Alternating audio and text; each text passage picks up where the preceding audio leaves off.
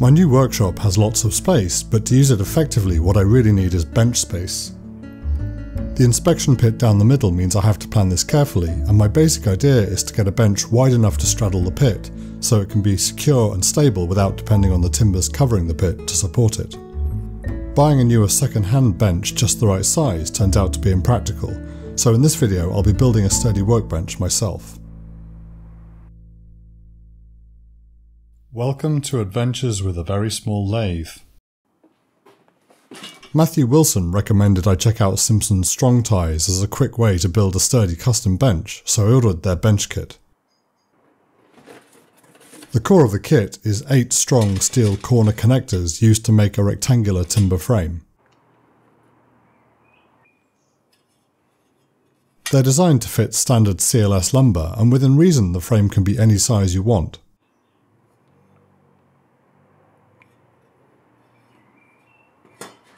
The standard bench design includes a flat plywood top as well as a shelf attached to the lower struts.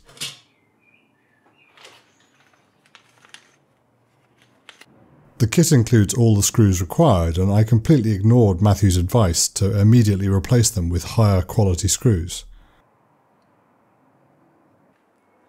The most important dimension is the width to make sure the bench legs sit comfortably either side of the pit. The pit measures out at just over a metre wide, but I need a little wider than this to make sure the bench is resting on good concrete. My other main constraint is the available size of plywood sheet to make the bench top. The standard size available in home improvement stores is 2400 by 1220 millimeters. This turns out to fit fairly nicely in the available space, and it fits snugly across the pit with a reasonable margin for strong footing. I want the height to be comfortable for operating machines while standing, and I need the top to stick out around the edge to clamp camera mounts and other tool holding arrangements. I picked a 32mm margin around the edge, which gave me a maximum frame size of 1156 by 2376mm. For the height, I chose 900mm. Putting these measurements into Simpson's online tool gives me a timber cutting list to go and buy. The result was three 3 metre lengths, four 2.4 lengths of CLS, and two full-size sheets of 19mm ply. Before I measure anything I start by cutting one end of each piece of CLS true in the miter saw. I have it set up really well to cut a right angle, so this is a quick easy way of getting a good starting reference. I've already checked that I have enough allowance for this and the sizes required.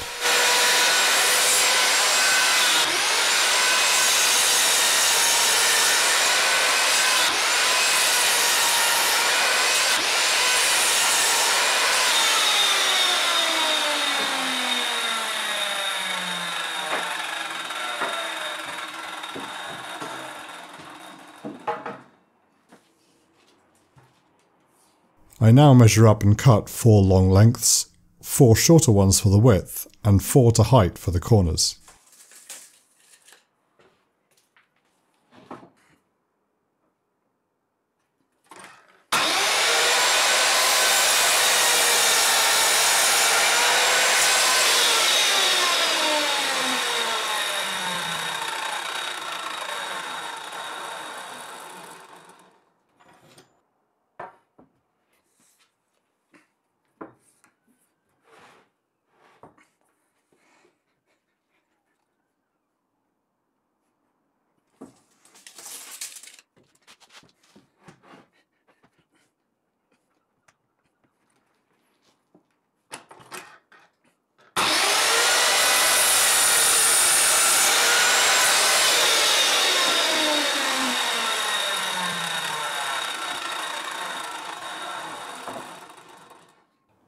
The kit instructions direct me to fit the steel corners to the vertical posts first, and give the dimension to measure from the top of the post to the top of the steel corner.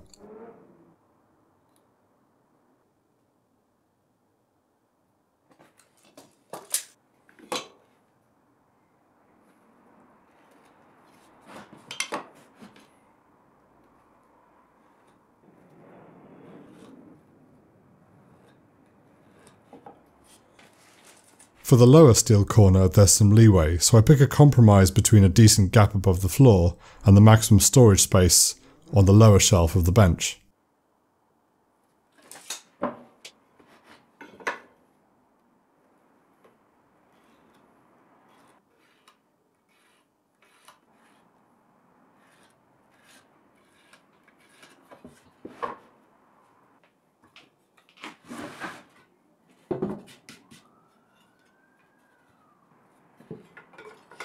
The corners are aligned with the top edge of the marked lines, and the instructions specify an order for the screws starting with the lower pair.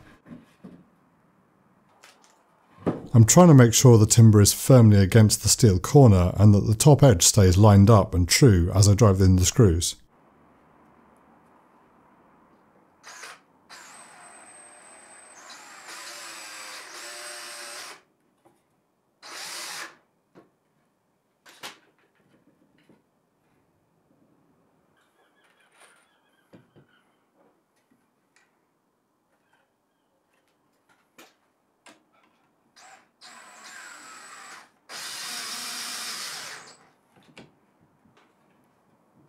Once I've fitted ties to the first pair of verticals, I line them up in position with one of the short length horizontals. The dimensions are looking good, so this end needs to be fixed up. I use a clamp to make sure the horizontal is firmly in place in the corner. The next screw to go in is the one that attaches the horizontal closest to the end in contact with the vertical.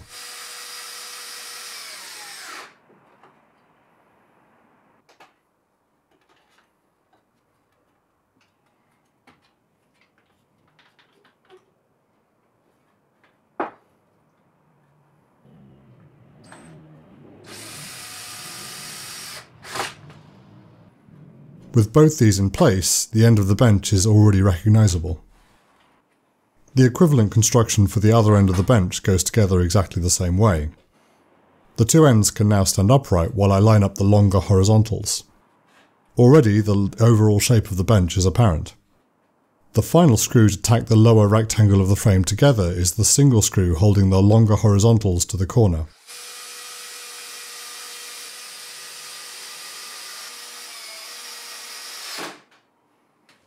I can now fill in the rest of the screws on the outside, followed by the screws on the inside of the frame.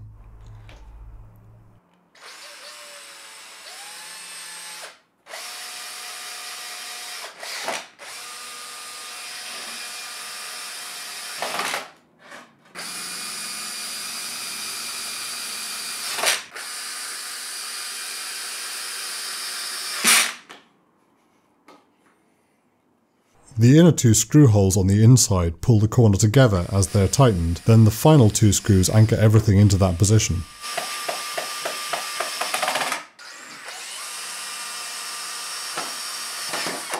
At this point it should be very clear how important it is that the end of the timbers are square. If they weren't, then tightening the corners would make the whole bench crooked.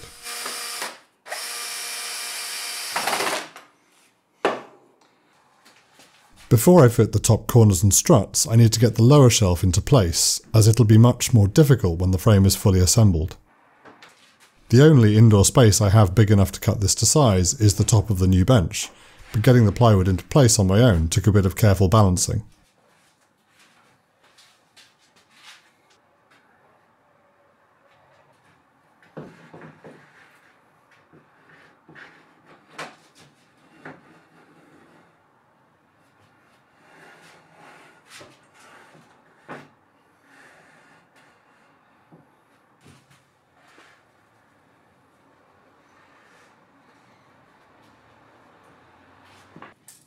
The shelf needs to be trimmed to size as it doesn't need to stick out the way I want the bench top to, so I mark out a 64mm strip to be removed.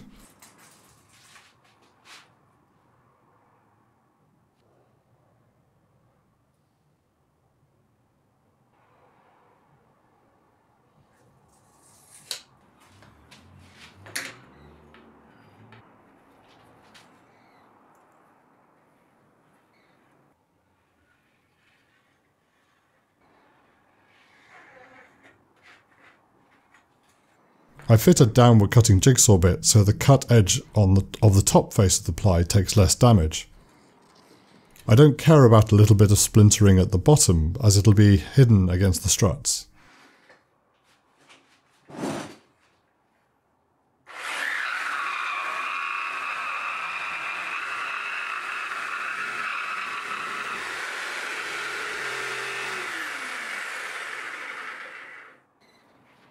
As I start cutting, the edge to be cut is between the vertical supports, so I need a way to make sure the board doesn't lose support as I progress and eventually fall or splinter. Once I'm well clear of the start of the cut, I use a clamp and some scrap wood to hold the two sides of the start of the cut together and prevent the weight of the board from sagging down.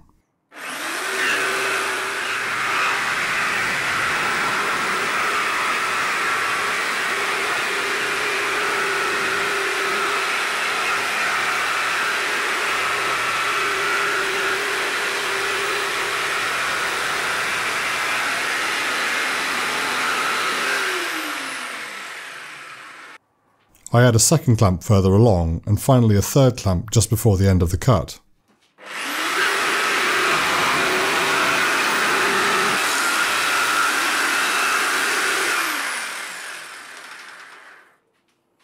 Between them, they support the shelf ply well enough to avoid splintering as the cut completes.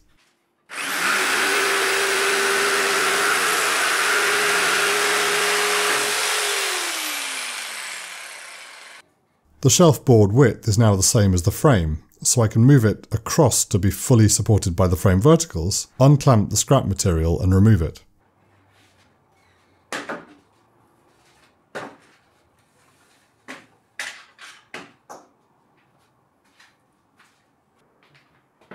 Because the verticals are longer in the direction of the bench's length, it's straightforward to shift the board until 64mm that needs to be removed from the length is overhanging, and can cleanly be cut off.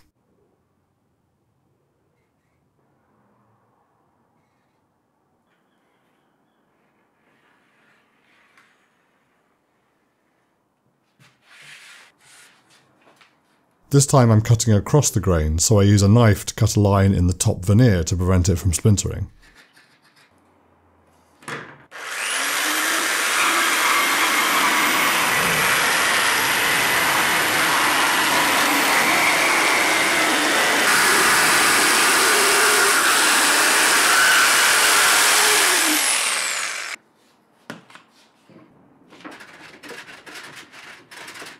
Hand plane tidies up the cut edge, and a file helps clean up the corners.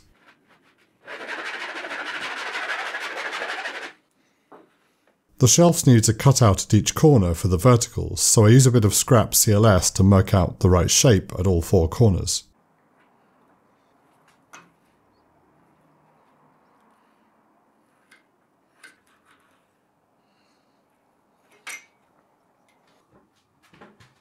I then lower the board onto the horizontals of the frame, sitting it at an angle so that all four corners stick out clear of the frame, and the cutouts can be made with a jigsaw.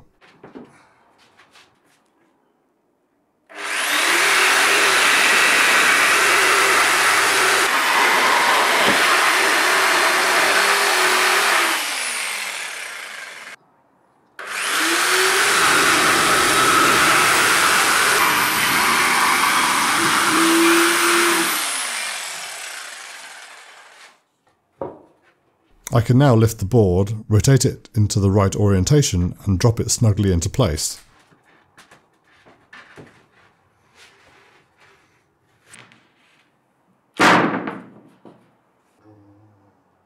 With the lower shelf board in place, I can fit the top set of metal corners to the lines I made earlier when I was measuring out. It made sense to hold it with a clamp while I checked whether everything lined up before I added the screws. I'm glad I didn't screw the corners in place as the tops of the horizontals don't quite line up. This must be due to variation in the width of the CLS that the instructions allow for. After thinking over the best way to resolve this, I decided to move the corners up until the timber edges aligned with the short horizontals.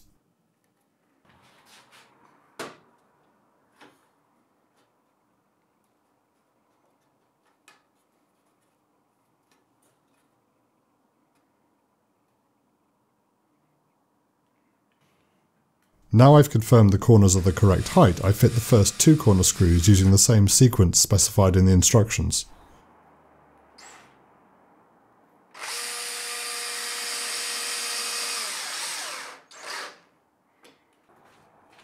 The other two horizontals can now drop into place, and inevitably the top edges don't quite line up.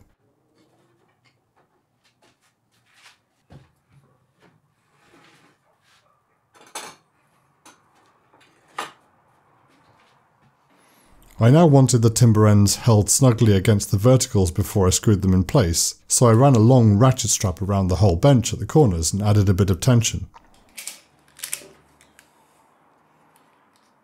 The screws went in once again in the order specified in the instructions. Outside first into the horizontals,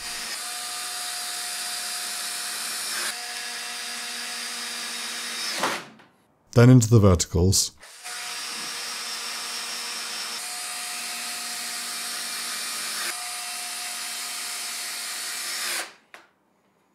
then the back screws that tighten the corner,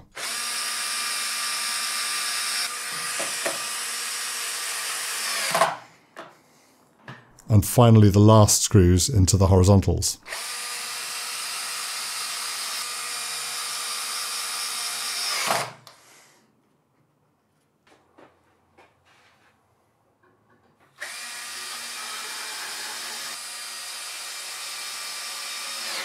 At this point, the full cuboid frame of the bench was together. Despite my best efforts, there are now significant differences in the levels of the horizontal timbers, so I thought the best way to fix this was to use a plane. I spent quite a bit of time on this phase, not stopping once I got the ends level, but kept working to get each edge as straight as possible and the overall top as flat as I could.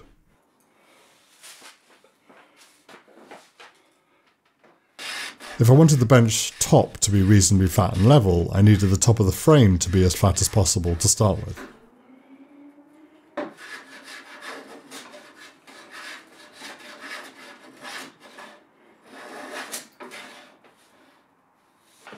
For the one vertical that was left protruding, I used a Surform to get it flat, followed by a belt sander.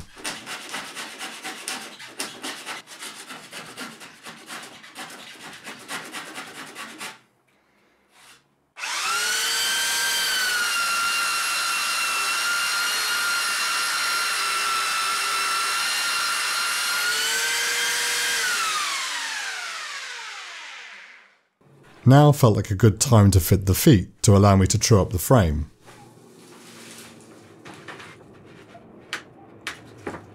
With the frame tilted onto its side, I drilled large round holes into the bottoms of the verticals.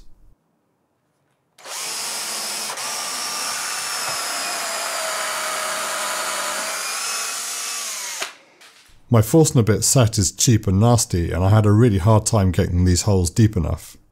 They clogged really easily and were clearly losing their sharp edge.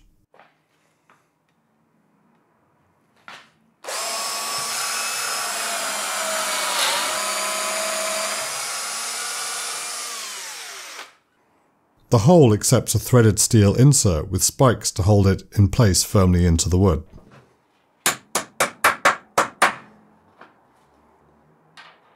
I could then thread an adjustable foot into place, allowing me to trim each corner to help level the bench. The next few steps will start to lock the bench into its final shape, so once I have it back the right way up, I shift the feet into position either side of the pit. Fixing the bottom shelf to the frame will stop the frame from flexing out of square, so before I screw the shelf into place I need to make sure the frame is as square as possible. As I don't own a 2 meter square to check it, the best way I can think of is to measure the two diagonals and adjust them until they're the same. This doesn't take too much adjustment as the shelf has forced the frame fairly close to square already.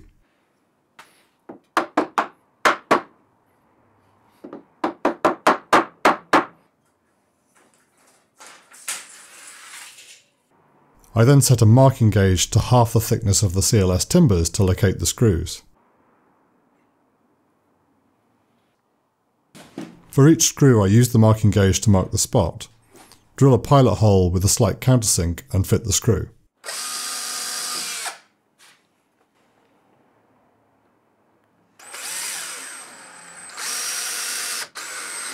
I added these all round the shelf using half the screws provided. The other half will fix the top.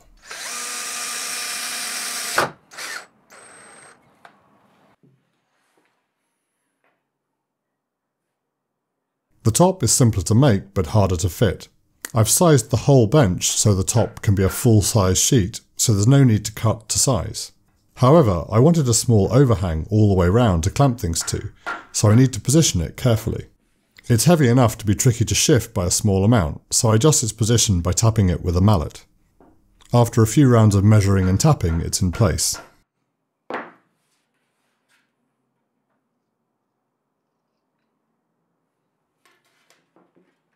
After a final check, I clamp it in place at several points. Now I need to establish the right place for the screws.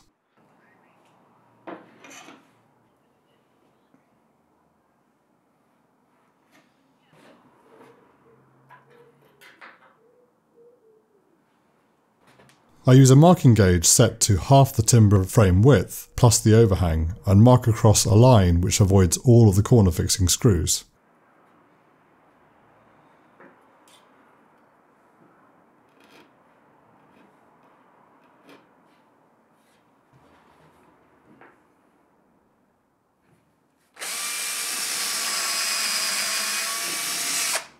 Each hole is countersunk deep to make sure the screw head is well below the surface as I'm going to cover them to make a smooth worktop.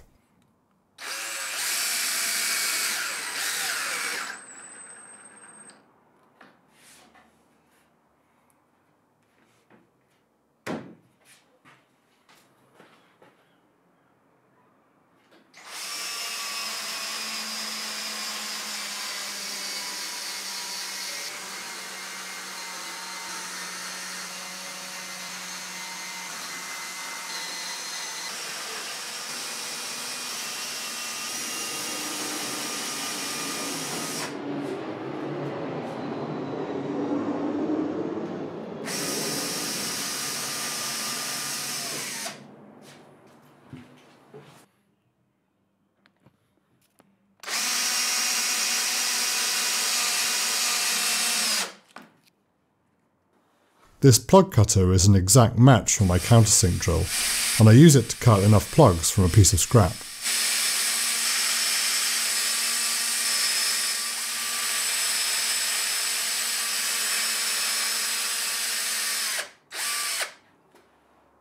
With some practice, I've learned to avoid cutting the plugs too deep so they break off inside the cutter. It's much easier to snap the plugs out of the scrap with a screwdriver than it is to prise them out of the cutter.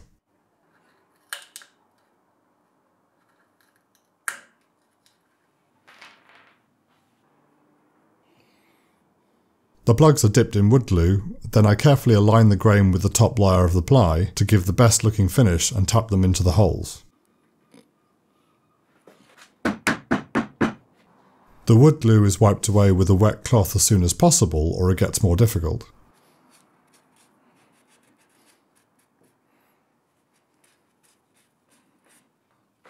Once the glue is completely dried, I use a freshly sharpened chisel to remove the excess plug material one thin layer at a time. Trying to remove too much can split the wood at the surface and ruin the effect.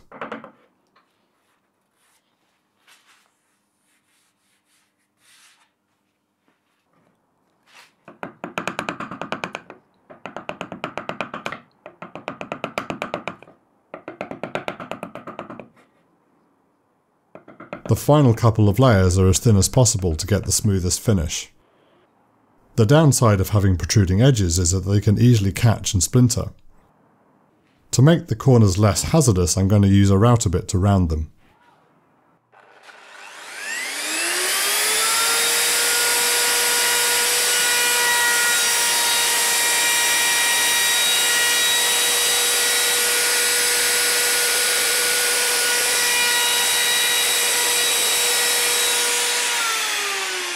The bearing on this router bit means it mostly aligns itself, so it's fairly straightforward.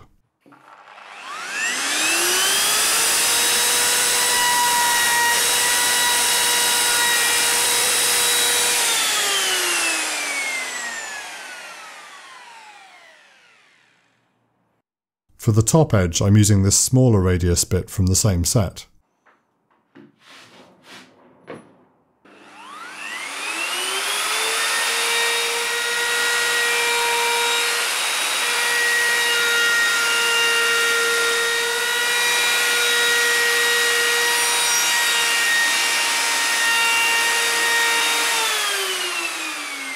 The final step is to apply, apply a finish, and I'm using boiled linseed oil. I picked this finish because it's very easy to repair and renew. A workbench is inevitably going to get worn and dinged, so a finish that can be fixed up without completely stripping down and starting from scratch is essential.